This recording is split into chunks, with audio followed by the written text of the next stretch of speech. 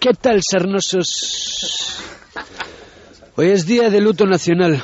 Es uno de esos días en los que los españoles sentimos vergüenza de aquellos que nos representan. Es un triste día, uno de esos en los que debería estar permitido pegarles palizas a esos que vienen a robarnos el trabajo y así poder calmar la rabia que nos corroe por dentro. Y es que España perdió el amistoso contra Inglaterra este fin de semana. Y esta derrota tiene un nombre propio, Vicente del Bosque. Y yo me pregunto, ¿cómo puede ser que este elemento sea seleccionador nacional? ¿Qué ha hecho ese hombre para el fútbol español?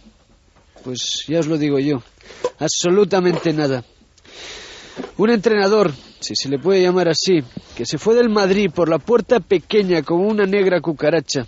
Un traidor que se hace decir madridista, pero que rechaza la medalla de oro del Real Madrid cuando se le va a entregar. Un ser tan despreciable que es capaz de escoger a Villa antes que al gran Raúl, el 7 de España, y se queda tan ancho. Raúl, selección. ¿Pero qué se ha creído este tío que es la selección española? ¿Un equipo de colegio que va dando oportunidades a los niños malos de la clase para que no se traumaticen? ¿Cómo se le puede ocurrir al viejo senil ese sacar al grandísimo Iker Casillas de la portería para sustituirlo por el calvo inútil de Reina? Un Reina, por cierto, que ya dejó la imagen de nuestra selección a la altura del Betún cuando se comió de forma vergonzosa un gol argentino justo después de que ganáramos el Mundial de Sudáfrica. Y que esta vez se volvió a comer un balón facilísimo, dejando diezmada la imagen que proyectamos al mundo. Y aquí llega mi indagación. Por todos es sabido la animadversión que tienen los catalanes hacia el que es, les guste o no, su país, España.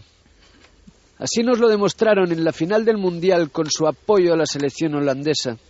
También sabemos cuál es el partido separatista que les gobierna, CIU, que está recortando el gasto de la sanidad de forma radical y aún y así sigue sin sacar a esa región del noreste de España de la crisis. Y digo yo, ¿dónde se están invirtiendo todos esos millones ahorrados? ¿En infraestructuras? ¿En colegios en los que se habla español? Pues no. Todos esos millones sirven para untar al que nunca debiera haber sido seleccionador nacional, a Vicente del Bosque, para que se deje ganar de forma escandalosa. Vicente del Bosque Arato. ¿Qué? ¿Cómo se os ha quedado el cuerpo? Se me va la olla, ¿eh?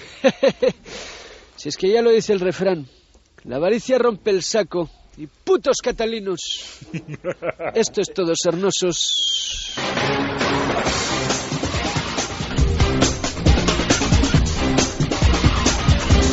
Fora de joc, de dilluns a divendres de 7 a 12 a Ona FM, amb Sique Rodríguez.